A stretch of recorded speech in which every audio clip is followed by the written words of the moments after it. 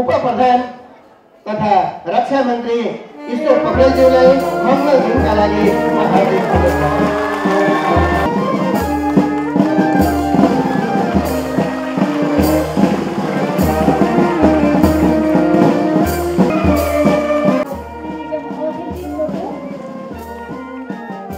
बाहिरका नेपालीहरू तपाईँहरूले म भानुभक्तलाई श्रद्धा गर्न हामीलाई सिकाउनु भएको छ। र राष्ट्रियताको निम्ति तपाईँहरूले तपाईँहरूले हामीलाई सिकाउनु भएको छ।